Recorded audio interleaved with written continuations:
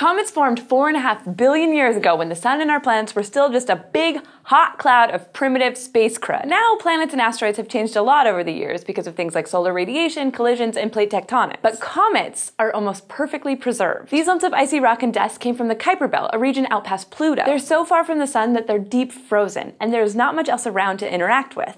So they're basically windows into the earliest days of our solar system. And around 20 years ago, NASA scientists wanted to get their hands on some comet dust. So they launched the Stardust mission to study the comet Wild 2. The Stardust spacecraft launched from the Kennedy Space Center in February 1999, and its payload parachuted back to Earth in January 2006. Basically, the spacecraft was a brick of scientific instruments, about the size of a big desk, with a solar panel sticking out of each side. It was designed to get up close and personal to the comet Wild 2, so it could take some pictures and capture thousands of dust particles in a specially designed collector. And as you might imagine, this wasn't so easy. First of all, comets are fast. If you want to catch up to a comet, you're going to need to be moving over 46,000 kilometers per hour. The rockets we use to send stuff into low Earth orbit only go about half that fast. So we had to double the speed of the spacecraft, even though it had the same kind of propulsion technology, specifically rockets with ultra-pure hydrazine as the propellant. And to do this, NASA scientists used Earth's gravity like a slingshot. They sent the Stardust spacecraft to orbit around the sun, passing close enough to Earth to pick up a speed boost and adjust its orbit. By its third pass around the sun, the spacecraft was going just fast enough to fly by Wild 2, some 240 kilometers from the comet's surface,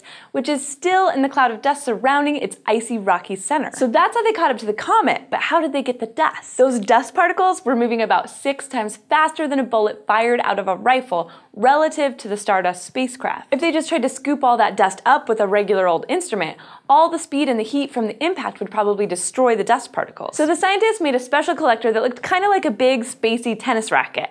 It was round and flat and had a grid of cells that were full of this cool material called aerogel. Aerogel is a thousand times less dense than glass, and certain kinds provide 39 times more insulation than the very best fiberglass. In other words, it's kind of like a super strong, super light sponge. So when the dust particles from Wild 2 hit the aerogel, they were just kind of dragged to a stop and stayed intact. The trails the particles left through the aerogel helped scientists find them, since some were only a few microns across. As a bonus, the collector had a second side, which was used twice during the trip to Wild 2 to catch interstellar dust scattered particles of matter floating around in space, which can help us better understand what interstellar space is like. I mean, you can't let half a fancy aerogel filled collector go to waste. When the Stardust craft looped back around close to Earth after a 4.6 billion kilometer journey, it dropped the capsule with the collector over Utah. Samples of comet dust were distributed distributed to about 150 scientists around the world, and scans of the interstellar dust were released to hundreds more citizen scientists. And these data are still being studied even today. In 2014, for example, NASA announced that seven of the particles collected by the Stardust mission